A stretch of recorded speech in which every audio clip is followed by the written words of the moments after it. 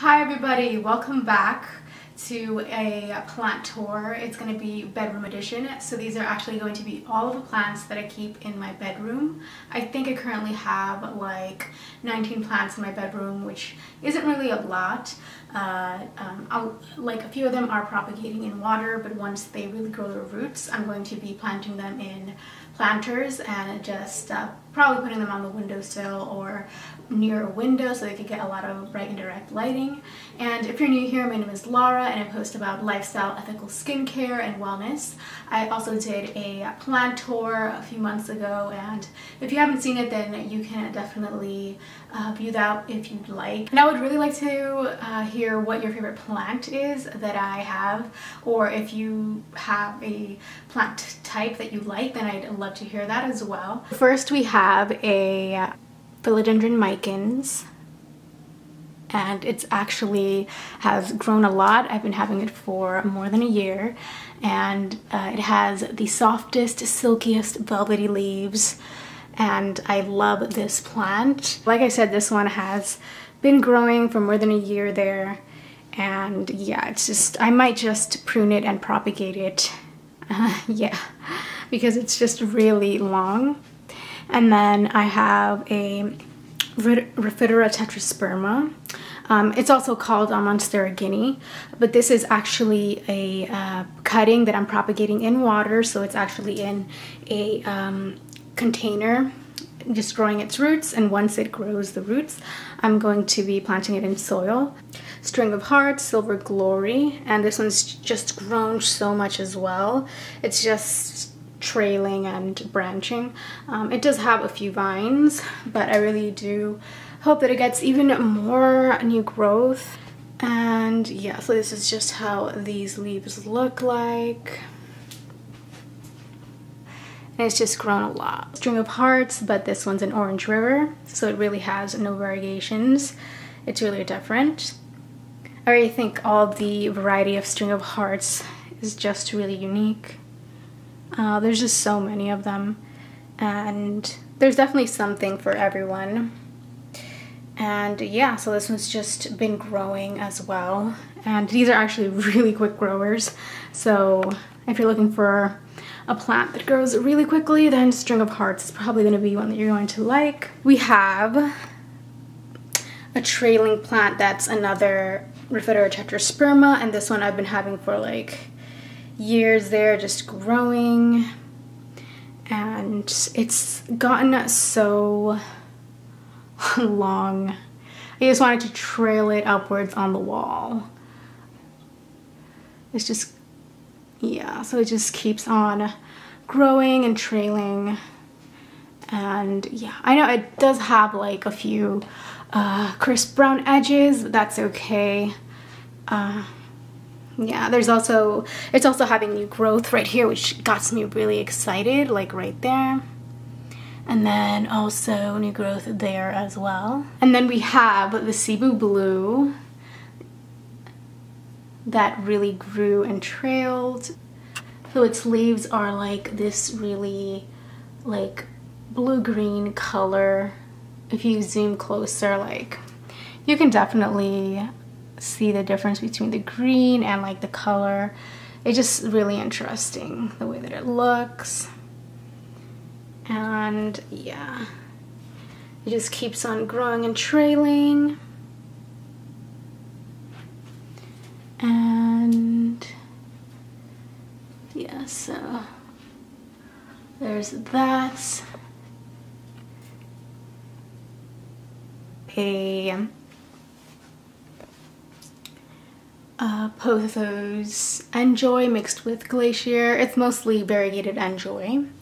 Uh, the only Glacier leaves that I could find on it are these that have uh, a lot of white and less green, uh, which looks a little bit different. But then everything else just looks like uh, regular Pothos N'Joy and also variegated N'Joy because it does have these of variegations on it as well. And we have, yeah, it just keeps on trailing. And yeah.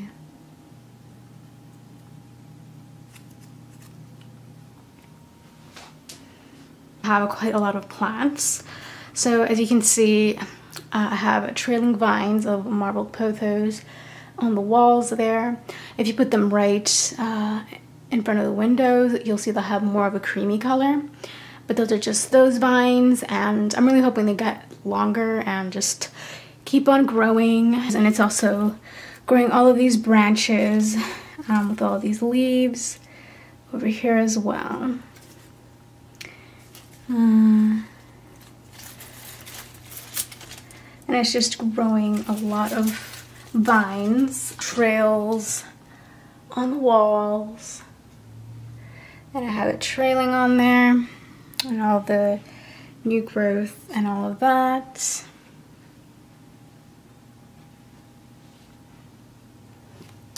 And this is the newest growth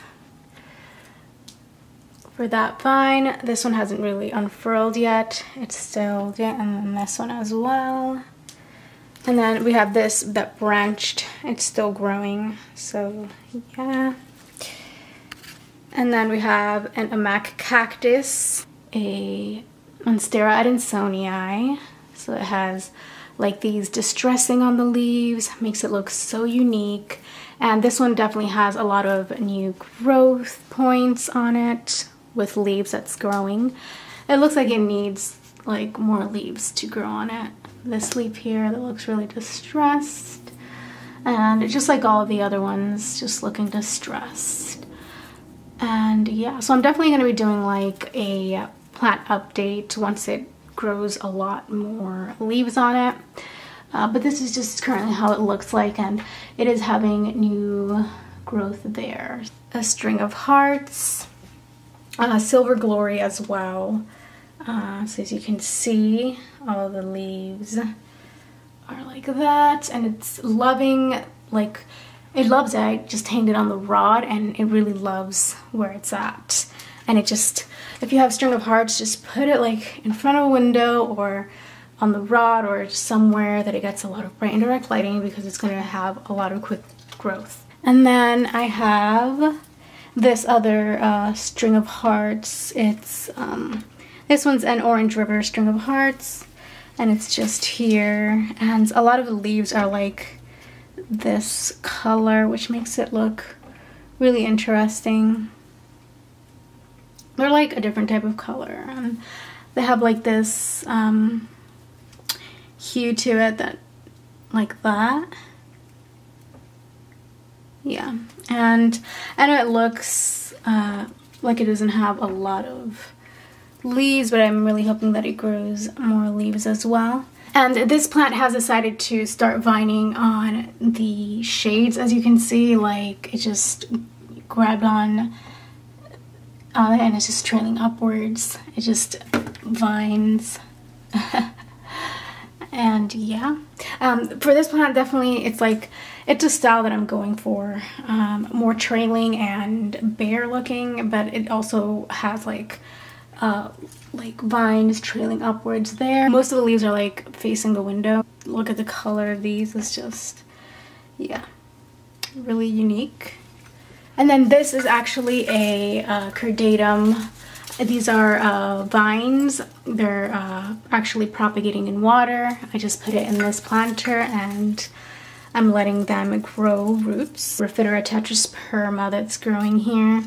It's had its new growth right there and it's going to continue trailing upwards.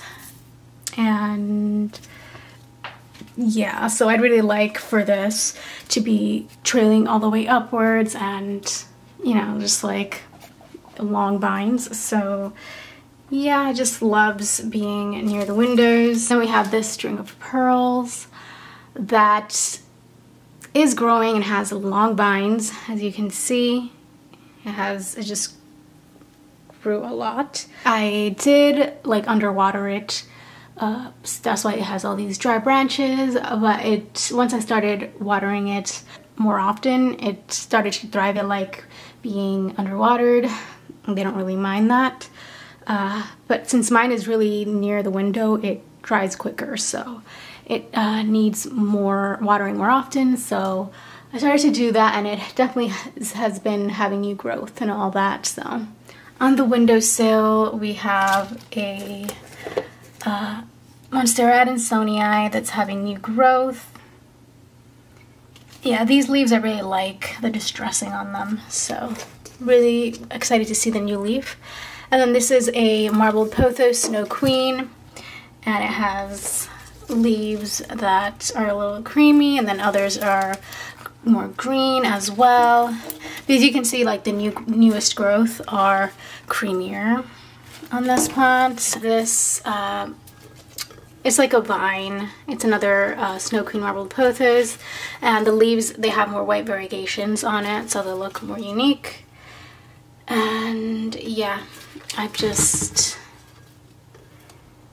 This is how that looks like.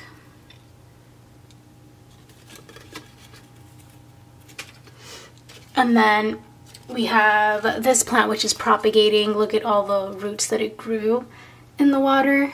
It's just a uh, Pothos uh, Silvery Ann, and a lot of the leaves do have uh, a lot of silver on them.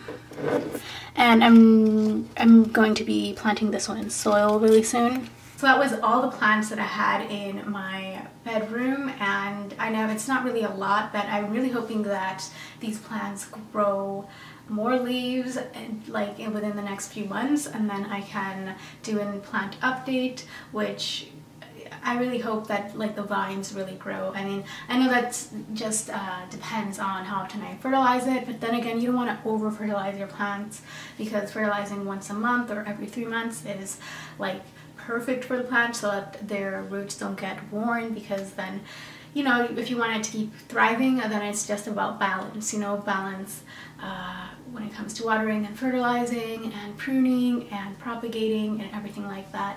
And uh, yeah, I mean, something that I learned when it comes to plants, if your plant isn't vining that much and you would like it to grow vines, then you can prune it and then you can put the vine in water and then uh, it can grow roots. It can help the plant grow vines quicker. Uh, but you don't have to prune it a lot, you just prune it a few inches and then yeah so it, it just depends if your plant is bushier and then you'd like the plant to have a more of a trailing vining look to it that can really help it and yeah just like pruning it once in a while every few months if it grows way too long you can propagate it and then gift it or you can make a new plant from it. I would say that the rarest plant that I have in my bedroom is a Cebu Blue Pothos, then all the other ones are like uh, regular plants that uh, are that really that rare. Um, the Monstera adansonii does have a really unique look as well and it does uh, have like distressing. Remember to like and subscribe if you enjoyed this video. Thank you for watching.